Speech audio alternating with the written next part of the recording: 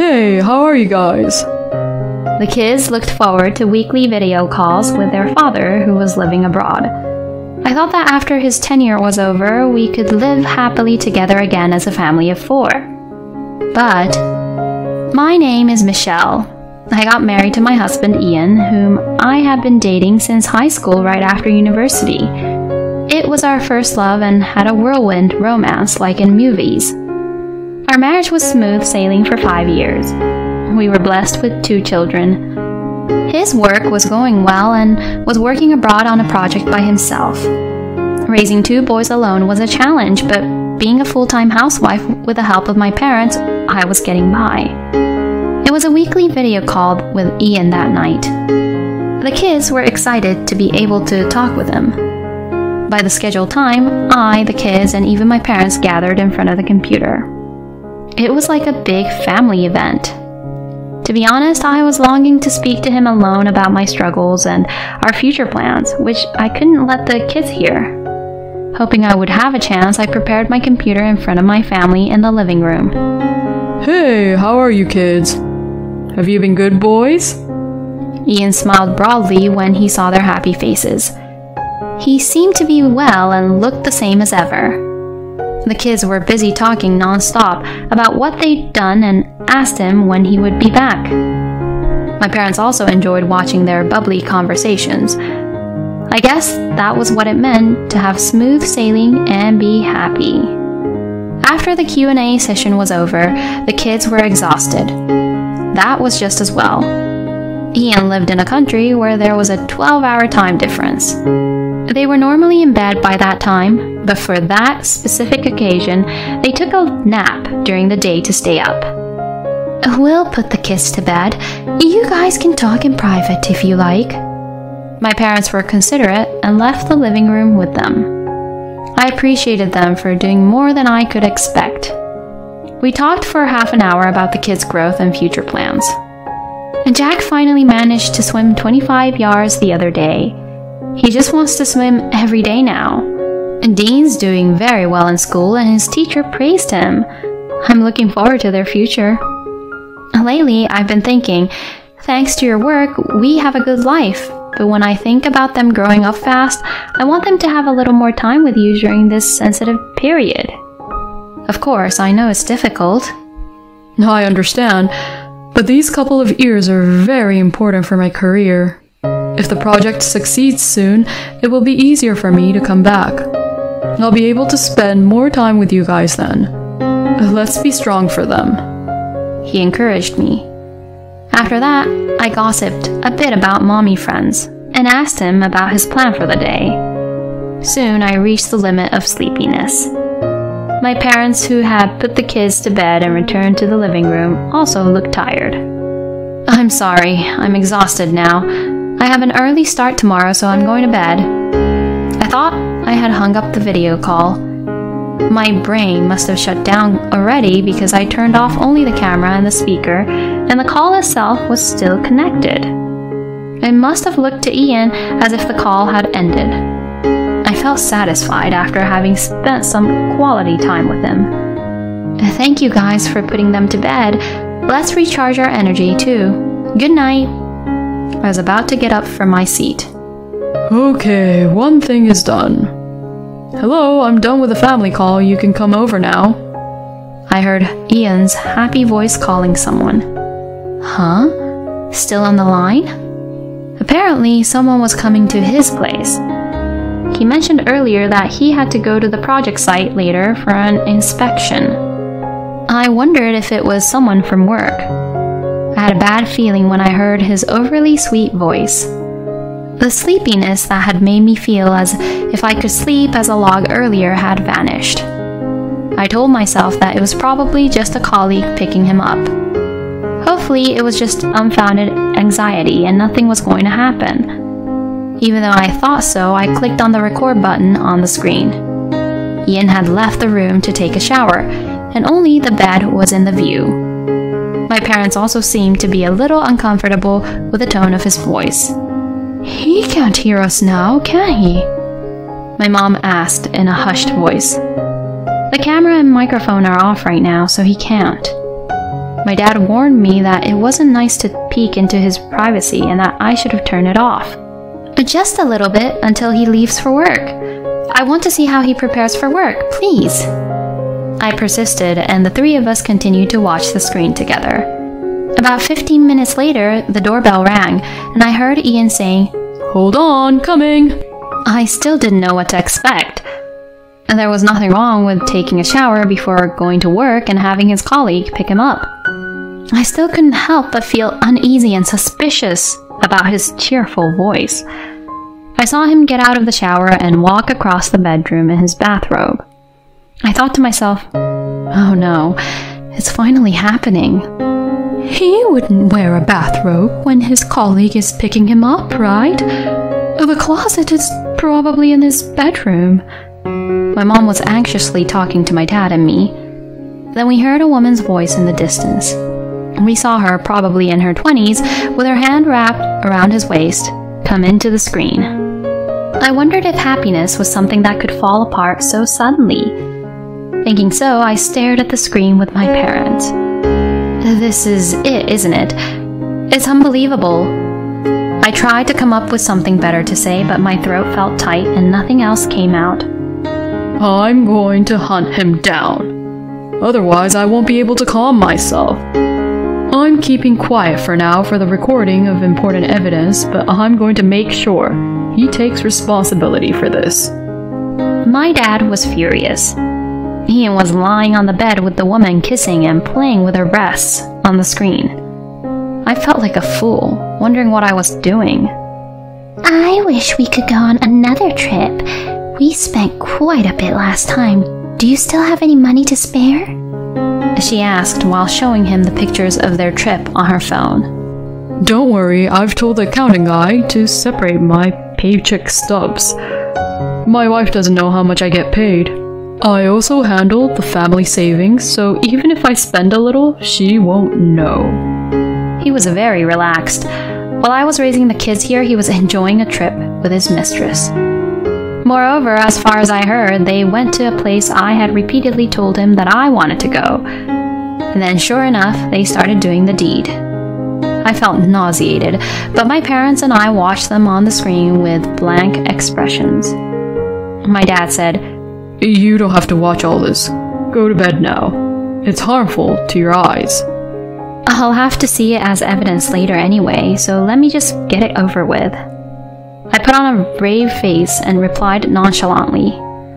After they were done, and just as the mistress was about to leave, I quietly turned off the computer. It was already 3 a.m. We all must have been overwhelmed by mixed feelings, and I could see that my parents were exhausted. Mm-hmm. Guys, let's go to bed for now.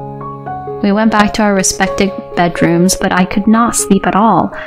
My body was too tired to move, but my brain was in a state of shock.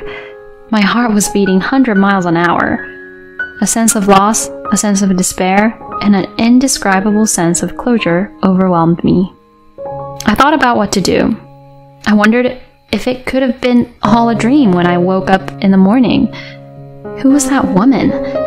So many thoughts were going around and round in my head. As I was fighting the sick feeling and trying to regulate my breathing, the morning came. What's wrong, Mom? You don't look well. My kids were worried. Sorry, I was talking to your dad until late and didn't sleep much last night. I made up a little lie. Your mom is tired today. Nana and I will drop you guys off. My parents took over my task for me. Get well soon, Mom. Let's go. The encouragement from the pure and kind kids almost brought tears to my eyes. I tried hard not to cry and send them off with a smile. I needed to get some sleep. I couldn't think straight. I drank a glass of water and went back to the bedroom. Ian was supposed to come back in two months. I had to prepare as much as I could before then and protect my kids no matter what. I swore to myself as I fell asleep. I must have been more exhausted than I thought. I slept until my kids came back. Mom, wake up! Grandpa wanted a takeout today, so we got a pizza. Hurry, hurry! Jack woke me up, and I staggered into the dining room. Mommy, are you okay? Dean looked at me worried. Yes, I'm okay, thank you. I'm feeling much better seeing you boys. Did you have fun today? I tickle them, pretending to be cheerful. Stop it! No! They were relieved to see me looking joyful. Seeing them happily play around, my parents also looked a little relieved. You can't fight a war on an empty stomach. As I ate my pizza, I thought about the future.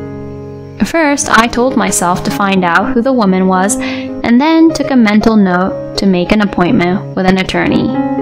There was no end to what I would have to do if I started thinking about custody, alimony, and so on. For the time being, I thought it would be best to consult an attorney. I didn't want to spread the rumors by consulting my friends. Fortunately, I was a housewife and had time during the day. After dinner, I put the kids to bed and called my parents into the living room.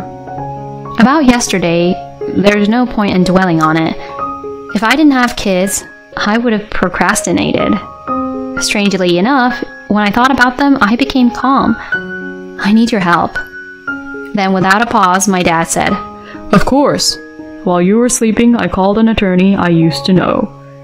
I know him from when one of my friends was cheated on by his wife he said proudly. I was very grateful, but I knew it was nothing to be proud of. I turned to look at my mom. I will help you as much as I can. I trusted Ian so much, but he betrayed us. I wouldn't be satisfied if I didn't do anything. She readily agreed. I wasn't sure what she was planning, but she seemed to be enjoying the situation. I made an appointment with the attorney this weekend. Can you be there? My dad asked about my schedule, and my mom said, Don't worry, I'll watch the kids. The next day, we started rolling. We had two months until Ian's visit. We wanted to settle everything before then. First, I checked all the SNS. It was surprisingly easy to find out about his mistress. She worked for the same company as him. She was a secretary at an overseas branch. I went to his company and explained the situation to his local boss to get his help.